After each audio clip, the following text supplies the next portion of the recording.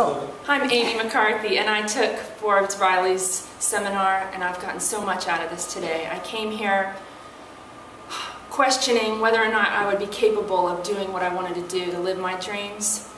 And now I feel like anything is possible. I feel positive. I feel like I have a game plan. I'm going to go for it. We're all going to check on each other, all of us that took the course, and uh, we're all going to succeed, and I know I will too.